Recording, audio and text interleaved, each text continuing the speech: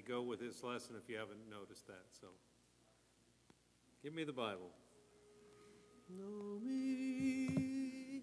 Give me the Bible, star of gladness gleaming, to cheer the water, lone and tempest tossed. No storm can hide that radiance peaceful beaming. Jesus came to seek and save the lost.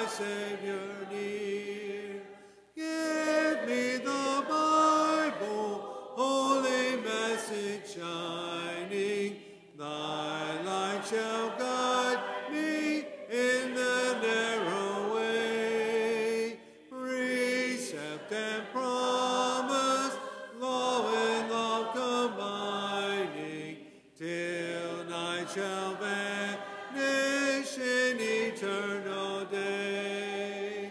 Give me the Bible, all my steps enlighten. Teach me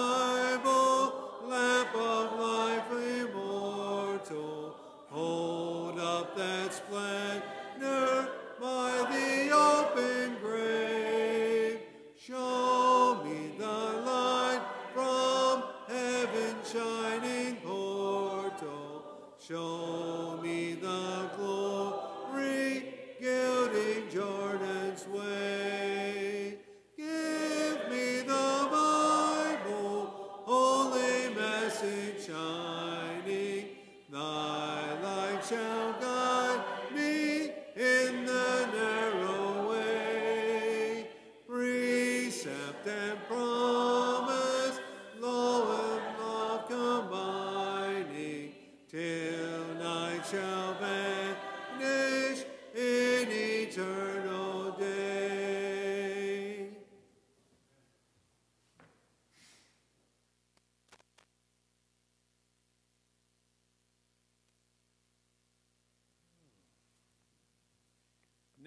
take off my preacher hat and put on a, a teacher hat for just a little bit. I, I'm going to do a little more things that I don't normally do, and except whenever I'm on TV, I'm going to do more reading than I normally do.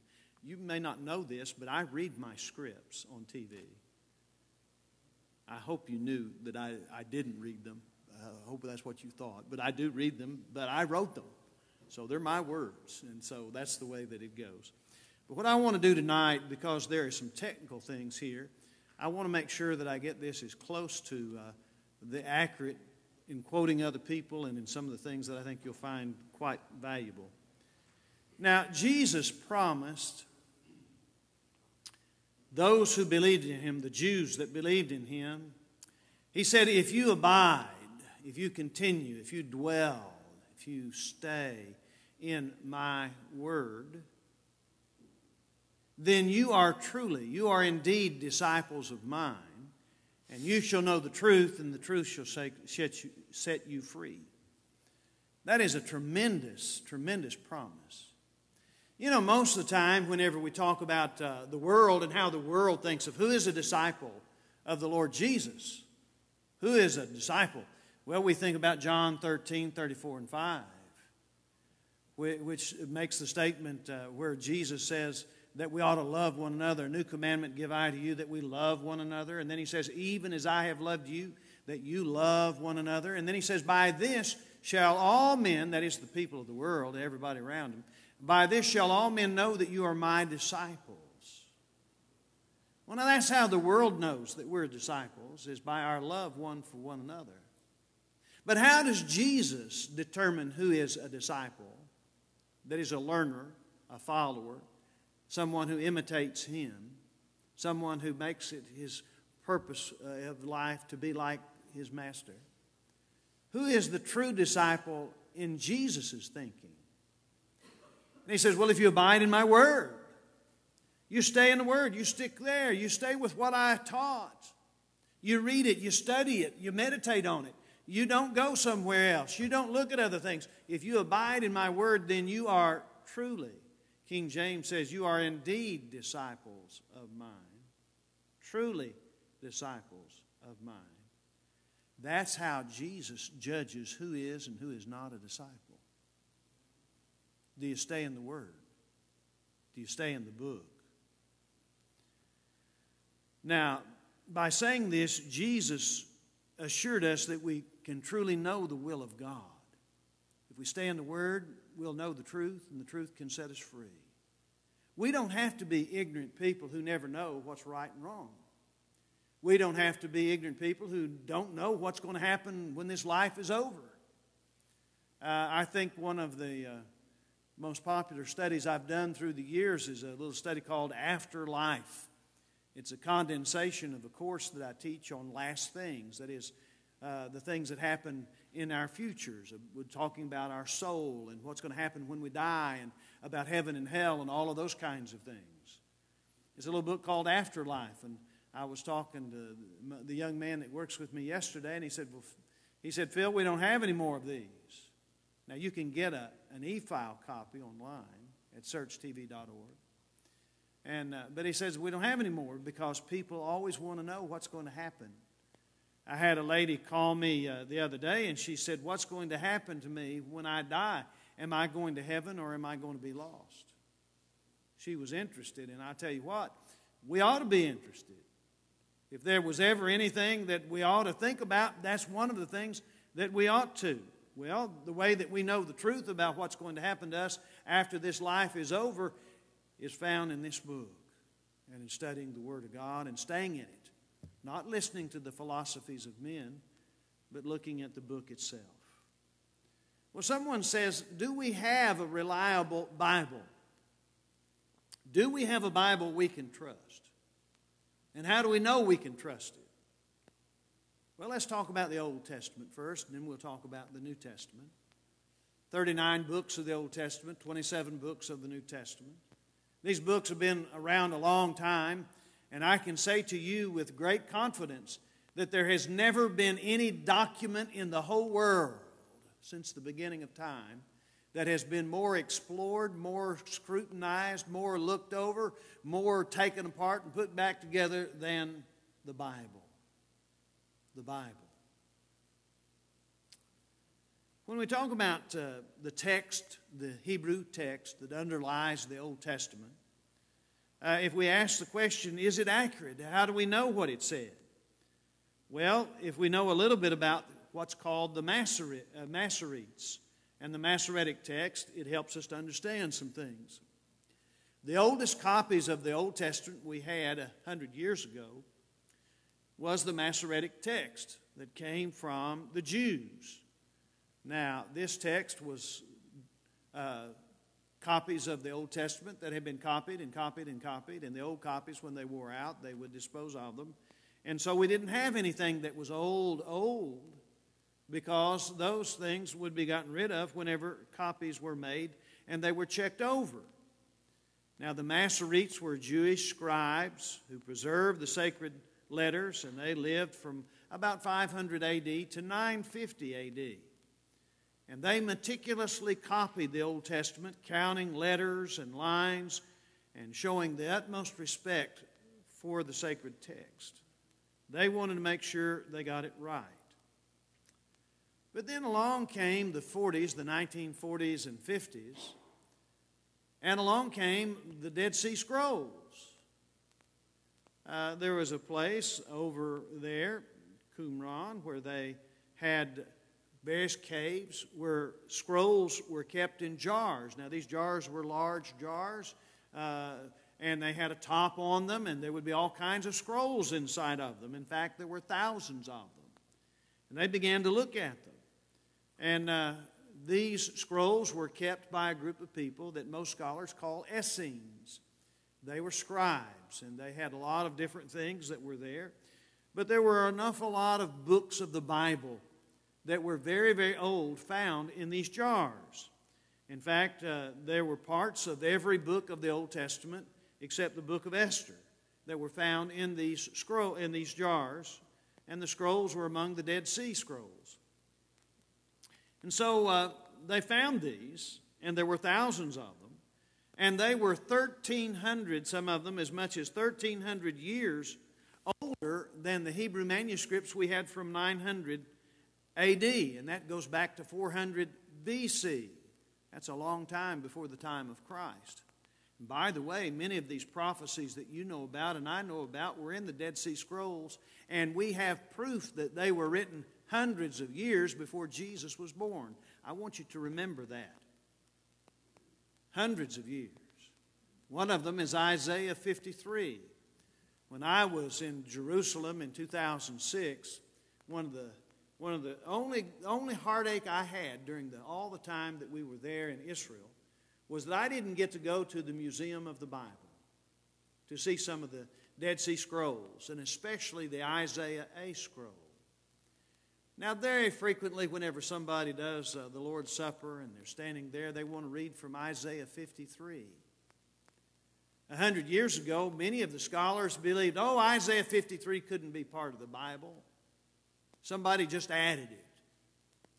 But you see, when they found the Isaiah A scroll, which dated hundreds of years before the time of Christ,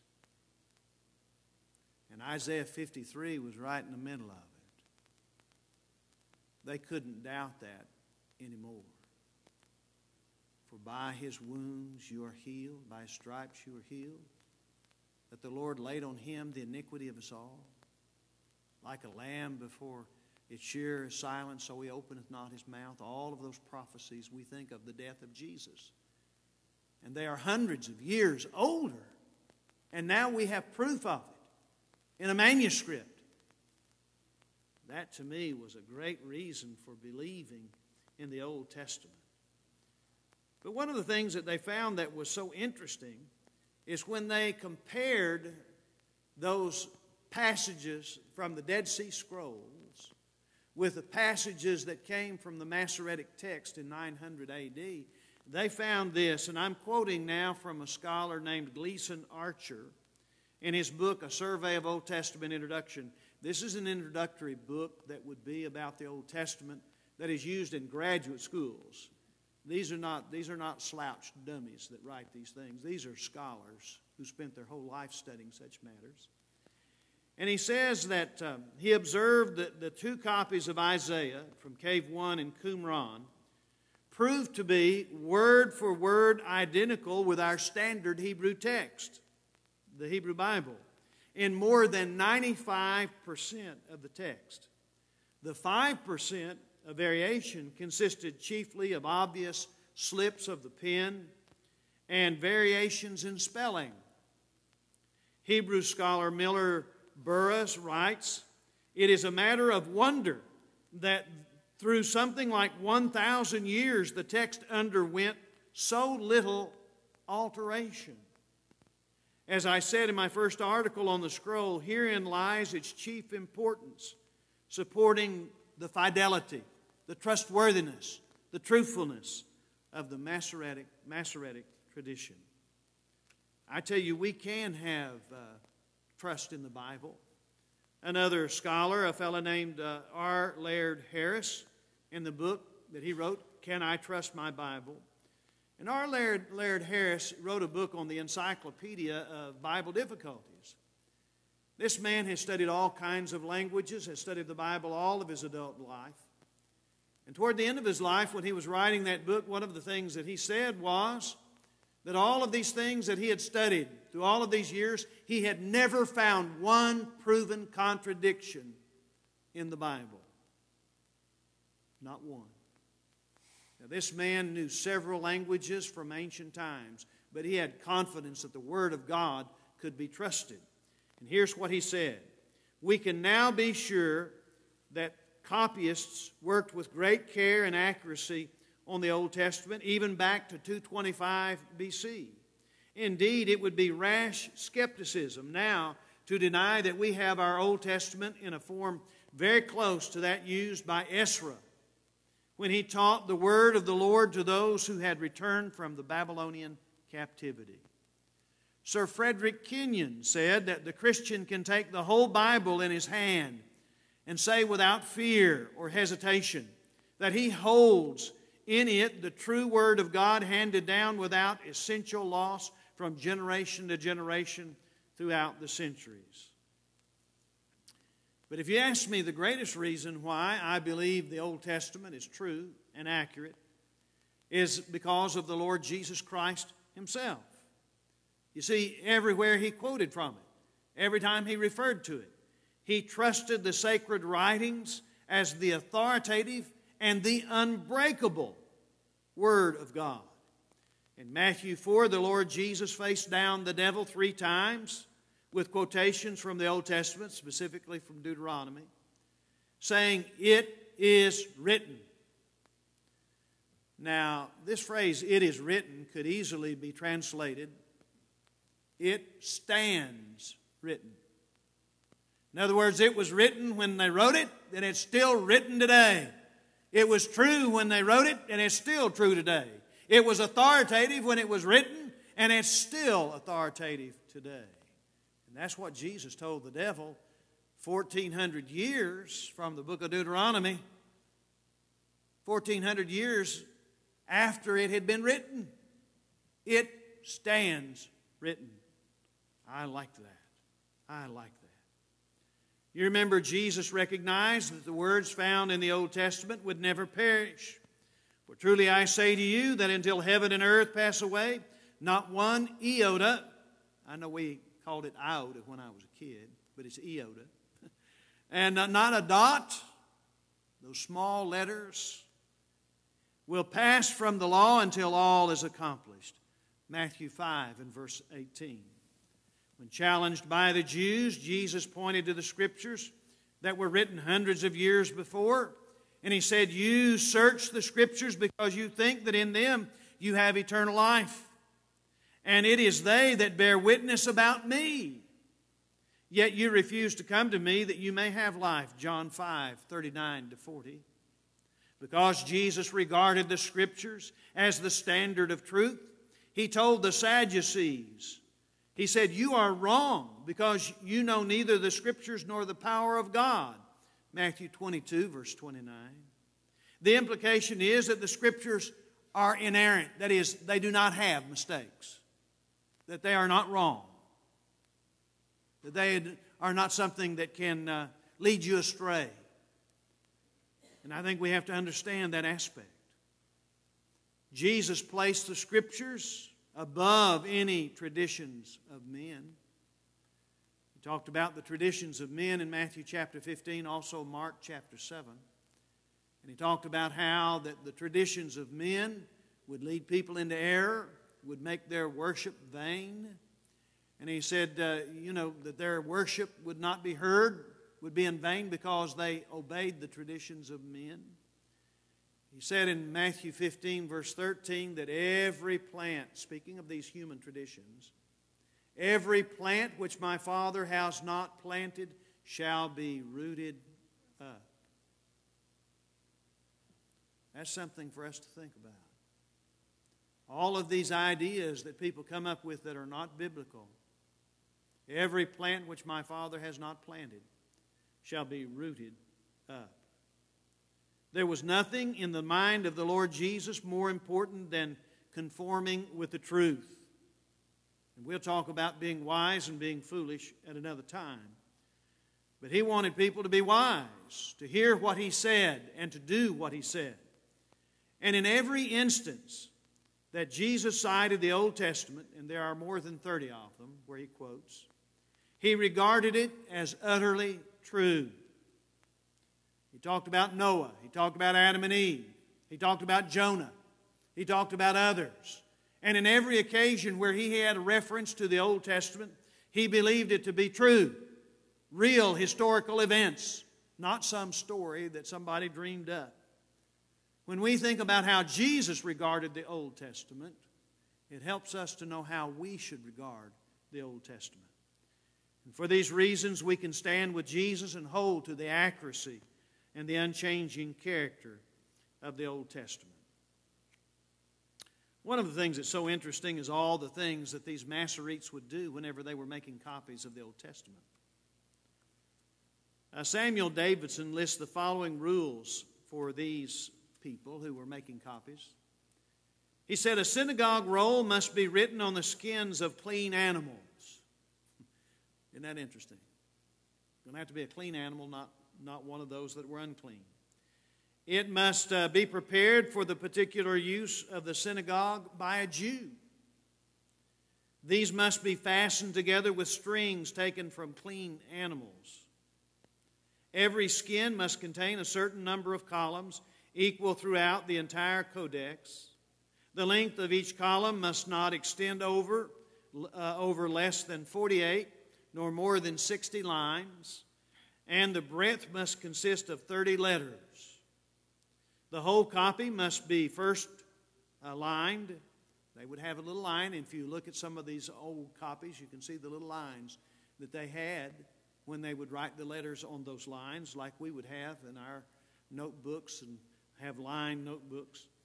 He says, and if three words should be written without a line, it is worthless. You've got to have more than three words on those lines. The ink should be black, neither red, green, nor any other color. Next time you look at your red red letter Bible. Remember that. He says it needs to be back, neither green, red, or any other color, and be prepared according to a definite recipe. An authentic copy must be the exemplar from which the transcriber ought not in the least to deviate. No word or letter, not even a yod, which is like a, an apostrophe, uh, a, excuse me, yes, an apostrophe Having to get my grammar down here. Just a little, a yod. It has kind of a Y sound to it. Yahweh starts out with a yod. A yod. And he says, uh, he says, not any of that ought even, he says, all of that ought to be, must be written from memory. That is, he looks at it and he writes it from memory. The scribe, not having looked at the codex before him, he just knows that it's there. He's memorized it, he's written it down, going to get it just right. Between every consonant, the space of a hair or thread must intervene. Between every new parashah or section, the breadth of nine consonants. Between every book, three lines. The fifth book of Moses must terminate exactly with a line, but the rest need not do so. Besides this, the copyist must be in full Jewish dress. He must wash his whole body. He cannot begin to write the name of God, Yahweh, with a pen newly dipped in ink, because if it was newly dipped, it might smudge. They thought the name was so sacred, they didn't want to do that. Should a king address him while writing that name, he must take no notice of him, that is the king until he finishes, of course. These were some of the regulations that they had.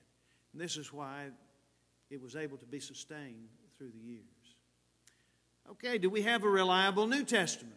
How do we know this? You know, there have been a whole lot of books and things that have been written by people in the last three, four hundred, uh, uh about the last about that early three, four hundred years of those first days, about all kinds of strange things. You hear, oh, it was, uh, the Bible was given in the fourth century. We didn't have the New Testament until the fourth century. That's not true. That's not true. We have people who say, oh, Constantine, whenever he was in power in that early fourth century, he was the one who made up doctrines that went into that. That's not true. You see, we have copies of the New Testament that are older than Constantine. It was about 10 years ago that I was able to go up to Michigan, to the University of Michigan. And uh, they have a library there, and I went up on the eighth floor, the top floor of that library. And the eighth floor is uh, very guarded because they have ancient manuscripts there. And I held in my hand one of the leaves of Papyrus 46. Man, I'd rather held that Papyrus 46 in my hand, that one leaf, than to spit in the Grand Canyon. It was the most, one of the most exciting things that I'd ever done in my whole life. P46 is the earliest existing copy of the writing of the Apostle Paul.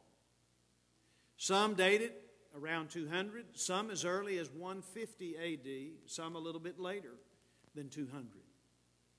But that is the earliest existing writing.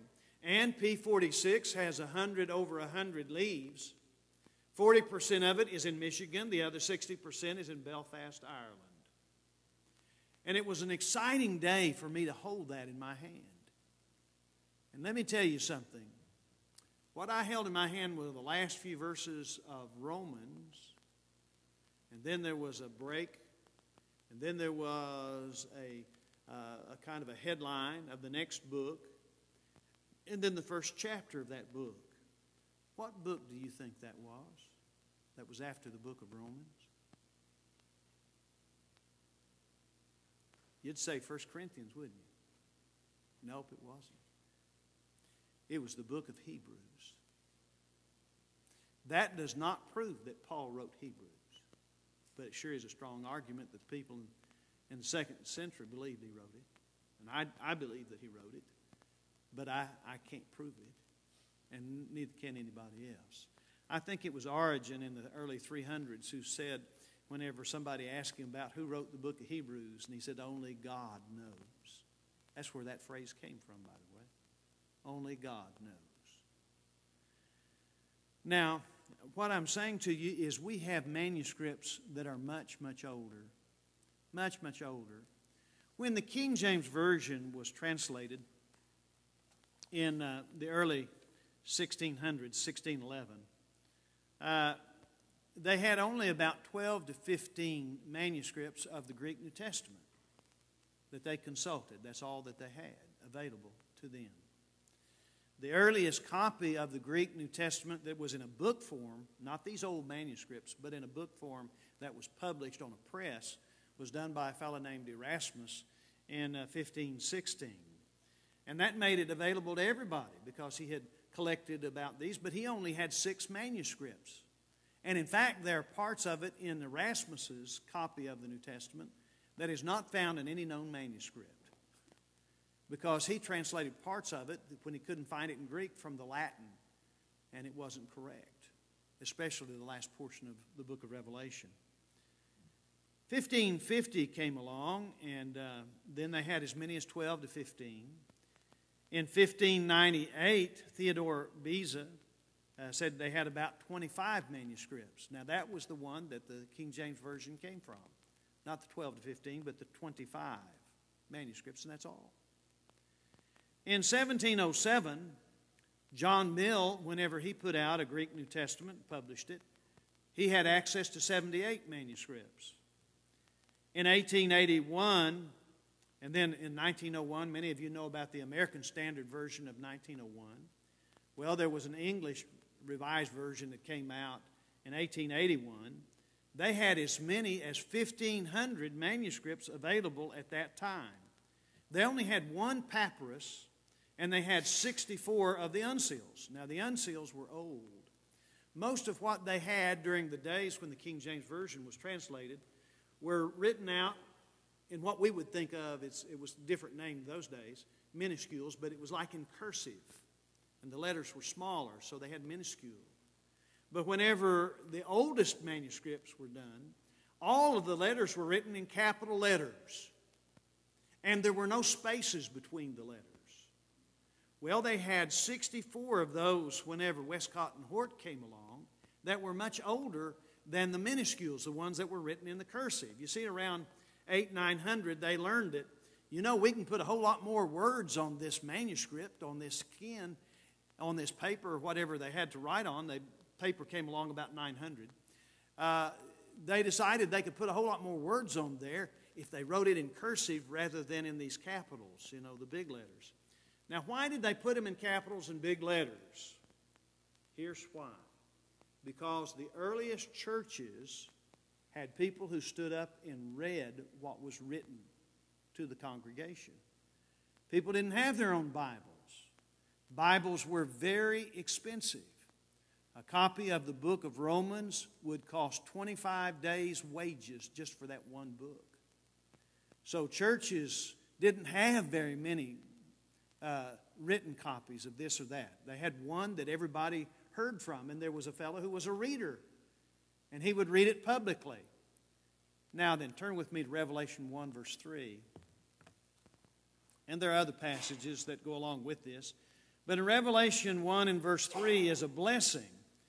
And I don't know about you, but I always missed this whenever I was reading it back years ago. I missed what he was saying. But he says in verse 3 Blessed is he who reads and those who hear the words of the prophecy. Well, now I thought about that and I thought, well, well, I'm reading it. Well, of course I am, and you are too, because we have our own Bibles. But when he was talking about here in the first century, in the latter part of the first century, he was talking about blessed is the guy who stands up and reads aloud, and those who hear. Why? Because these books would be written uh, down and then they would be read in the churches. And that's why he says to the church of this right, to the church of that right, and all those seven churches. And so that's how they did in ancient times. But there was a reader and there were people who listened.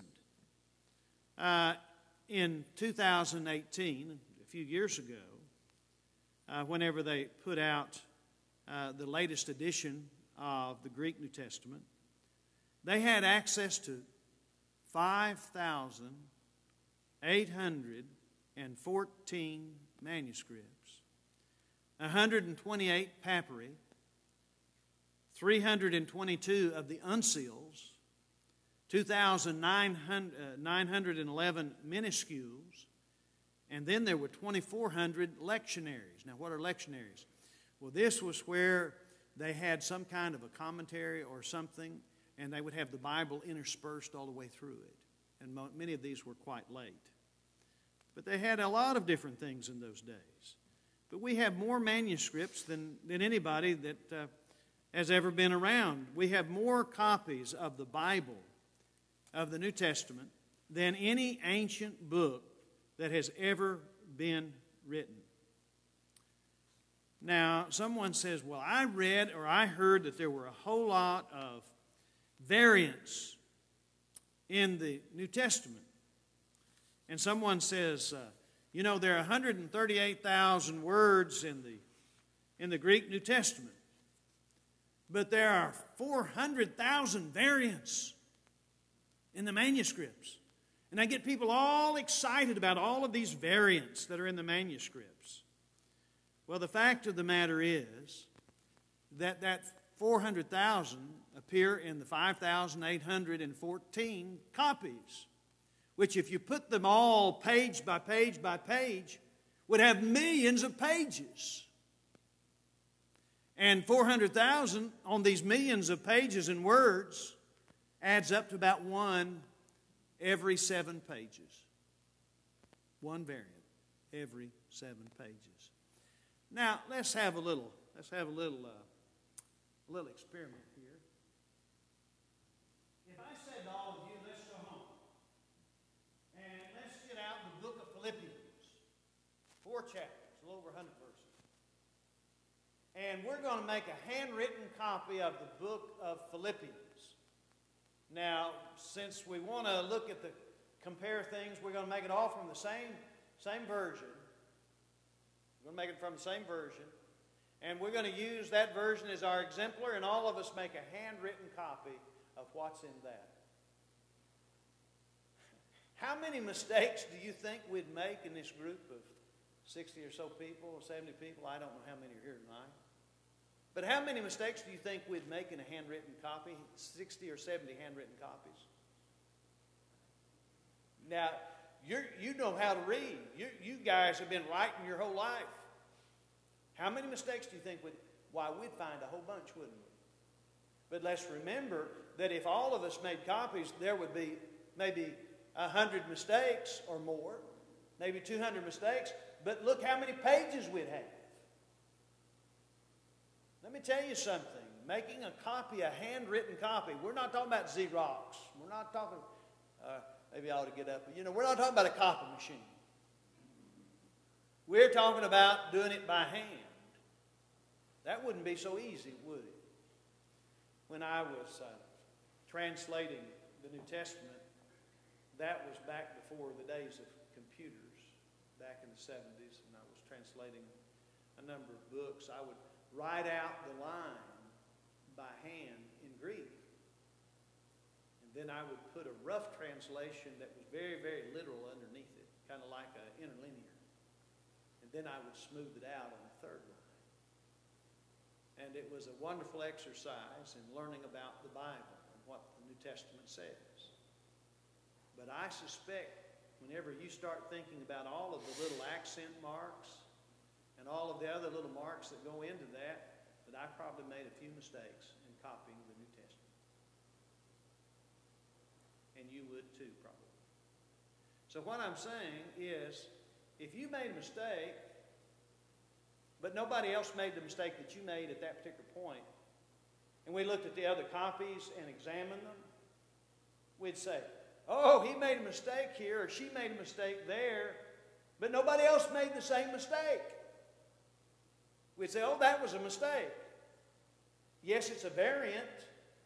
It would be different. But we would know that there was something wrong with it because nobody else did that.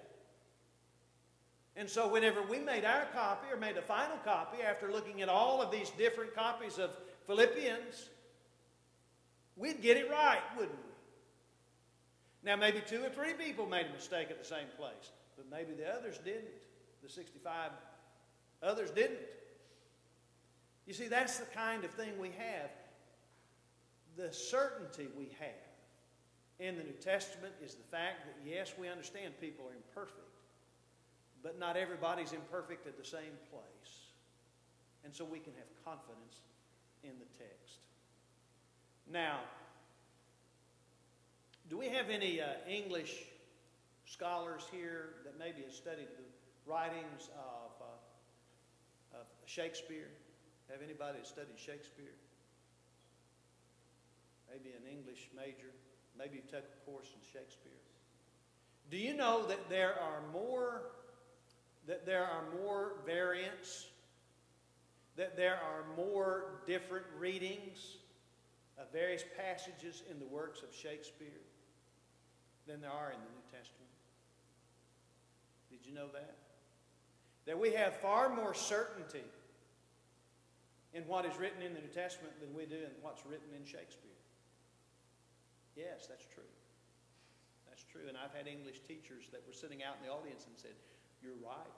And I was glad because it is true. There is no book, ancient or modern, that has been more scrutinized, more looked at than the New Testament. Now, let me mention one other thing about the Bible before I go any farther. Of all the books, ancient or modern, there is no book, ancient or modern, that has exact, specific, detailed predictions made hundreds of years in advance that came to be true as you find in the Bible. You don't have anything else that is anywhere near like it. You can go through the books of other religious groups, even their what they think of as their divine books. None of them have the kind of predictions that the Bible has. Psalm 22 16. The piercing of the hands and the feet. In that uh, psalm, that is very messianic and it's very much about the death of Jesus because in that same psalm it talks about how they would gamble for his clothes and how that his uh, bones would be bared and all those things. Psalm 22 is a very, very messianic passage about the death of Jesus, but talks about the piercing of the hands and the feet. Who wrote that? David wrote that. When did he write that? A thousand years before the time of Jesus A thousand years before Jesus was born. The Babylonians in the 600s BC, 400 years later, were the first ones ever to crucify anyone. The Greeks learned it from the Babylonians, and the Romans learned it from the Greeks. But here was David talking about a form of death that nobody for 400 years would ever use as a means of execution the piercing of the hands and the feet in crucifixion. There have been people all through the ages that read Isaiah 53, and they couldn't believe who Isaiah 53 was talking about. And they've looked at this person and they've looked at that person, but only Jesus could fit the exact specific details that could be found in Isaiah 53. 30 pieces of silver?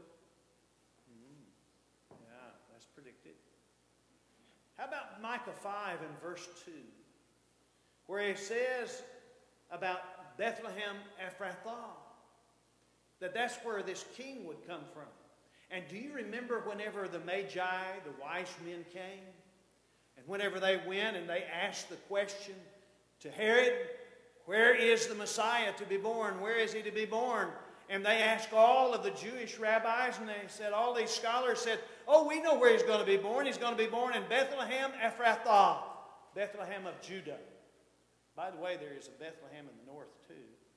But Bethlehem Ephrathah, that was the place where Rachel died. And Rachel's tomb can be seen even to this day in Bethlehem.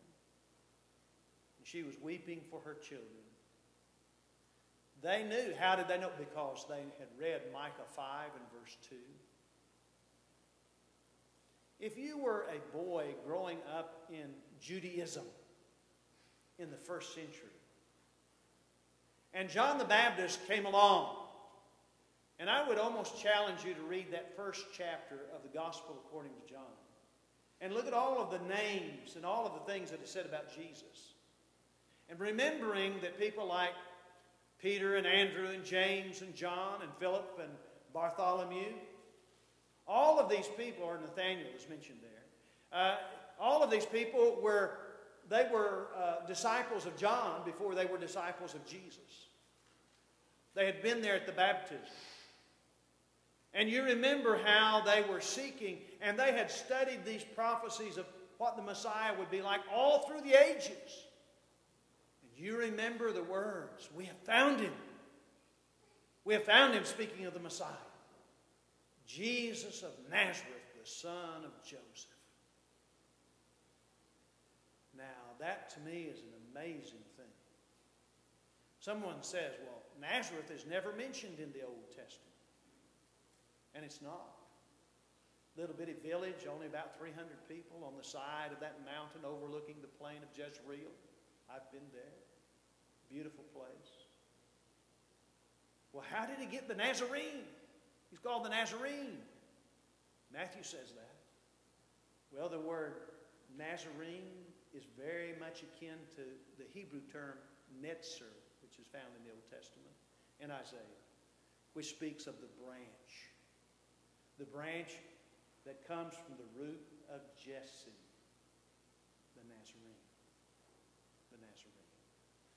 So you see, all of these things come out very, very clearly. The prophetic things. Sometimes we have forgotten that there are 65 prophecies in the Old Testament of the Messiah. Someone says there are as many as 300 allusions of his coming. But there are 65 really specific prophecies. These are things that help me to have confidence in the Word of God. That it's true, that it's reliable, that it's there, that it is ancient and it did come from God, because only God could have known those things. Only God could have known those things. You remember in the Old Testament there was the uh, test of who is going to be a prophet. And that test of a prophet is if he speaks something and it comes to be true, and he says God said it and it comes to be true, that's a prophet that you shall fear. But he says, if he says something that's coming to be true, but he points to some other person, not the God who made us, then you shall not fear that person.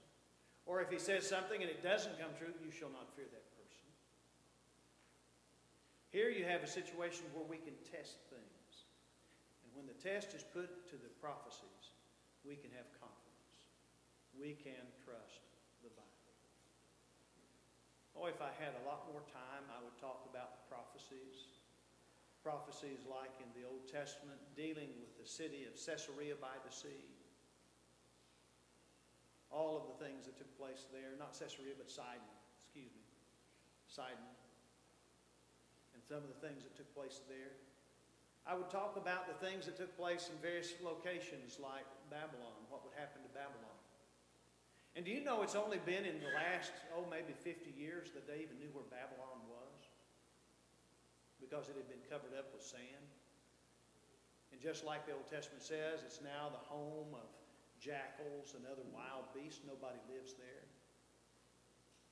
Here was one that struck me when I was in Israel. I, I visited Capernaum, Bethsaida, and Chorazin. And you remember that whenever in Matthew 10 he sent the 12 out, he gave them power over the, over the demons and over everything, and they had the power to, to do things. And they came back, and some of them came back and they said, Well, we went to these places, and they didn't believe, they didn't accept us. Interestingly, these were places where Jesus did many of his miracles. But Capernaum did not accept Jesus. Many of the people that were in Bethsaida did not accept Jesus. And look at the curse that Jesus placed upon Bethlehem, excuse me, on, on uh, uh, Capernaum, and then Bethsaida, and then also Chorazin. I've been to all three of these places, and they are nothing but ruins because Jesus cursed them. He cursed them. And that they would not uh, have anyone there. And you know what? If you go to Capernaum today, you, all you find are ruins. There's no city there anymore. You can go to Bethsaida, which was the most prominent city of that area, a walled city where the Romans had their taxes and where they had their centurions and they had their soldiers. There's nothing in Bethsaida. You go to Chorazin. There's nothing in Chorazin. When Jesus curses a place, it stays cursed. When Jesus blesses people, they stay blessed. There is a big difference between belonging to God and not belonging to God.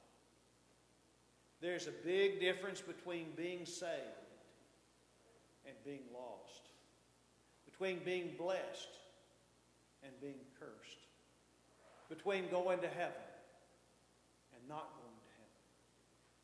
There's a big difference. Well, I think that's probably as much as I wanted to say tonight. Uh, much of what I've talked about and many more things are in a chapter of a book that's never been published that I wrote three or four years ago, and hopefully it'll be published one of these days. But these are some things that I think are quite valuable and needs to be, they need to be said, they need to be told. That you can trust your Bible. If I had a little more time, I would talk about a fellow named uh, Greenleaf who had some tests of how to establish whether or not the books of the New Testament could be, proved, could be used to prove something in court.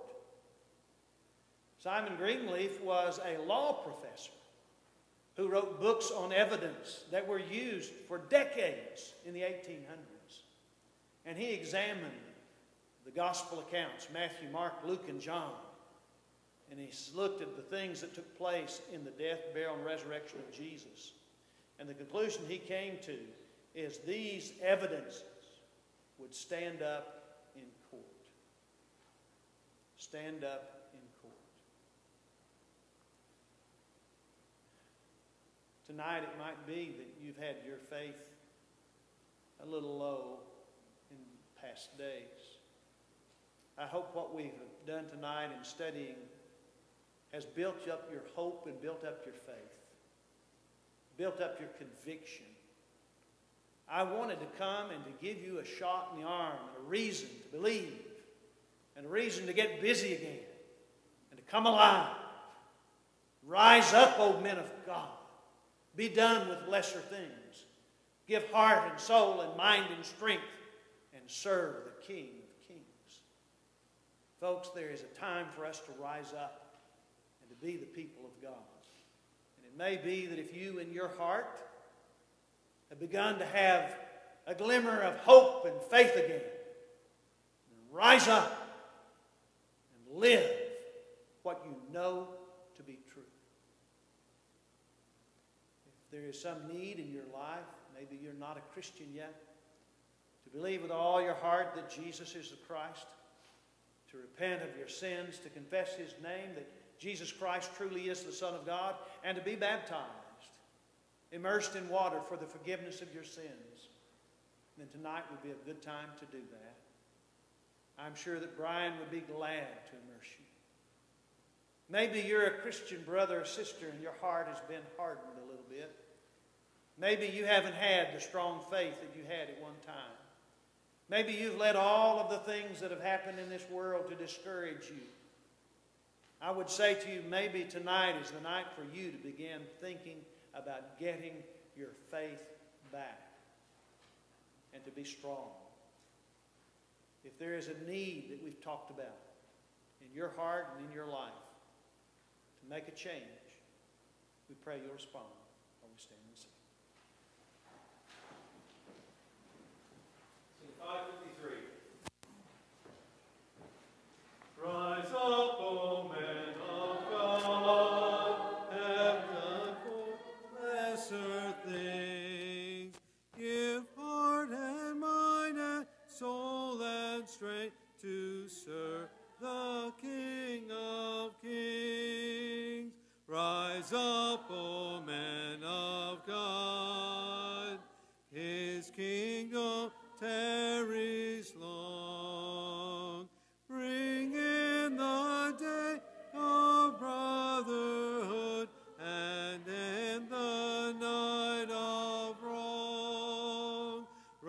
Rise up, O men of God.